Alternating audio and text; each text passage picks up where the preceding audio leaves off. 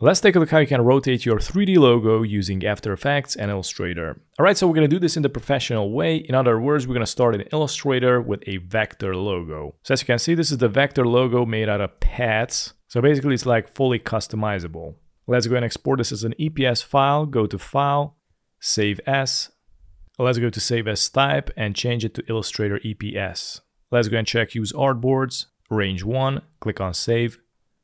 Let's go with the default settings, click OK. Now let's go to After Effects, click on New Composition, rename it as Logo. I'm gonna go with 1080p 25 frame per second, 4 second duration, black background, click OK.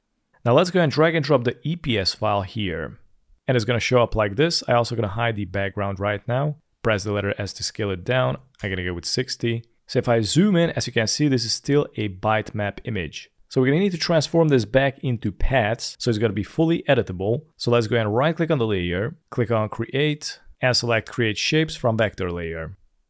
Now you can delete the original layer. And now we're left with a fully editable shape layer. Now I'm gonna unhide the background, change up the color of the fill, and I'm gonna go with this purple for example, click OK. Let's go and activate the 3D on the logo, click on this cube.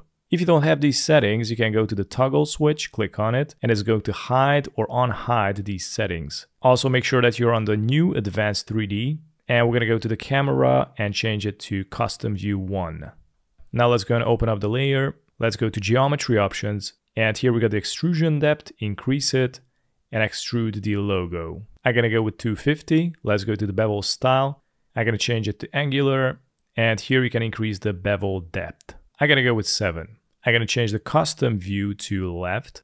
And now we're gonna rotate the logo. So we're gonna go to the transform, open it up. And here we got the new XYZ rotation. So I'm gonna go with the Y. And check this out, if I'm gonna increase this value, it is going to rotate but it's gonna rotate the logo from the right front here. And we're gonna need to move this anchor point or XYZ rotation here in the center. So it's gonna rotate it from the center. So in order to do that, you can go back to the extrusion depth and copy paste the extrusion value. I'm gonna click on it, control C, and now let's go to the anchor point. And let's go to the values with the 0, 0, and we're gonna copy paste the 250 distributed with 2 so it's gonna be one, two, five, and the anchor point is going to jump perfectly into the center. I'm gonna go back, change it to default, and now we can animate the rotation. Let's go to the X rotation. Also make sure your timeline is in the beginning here.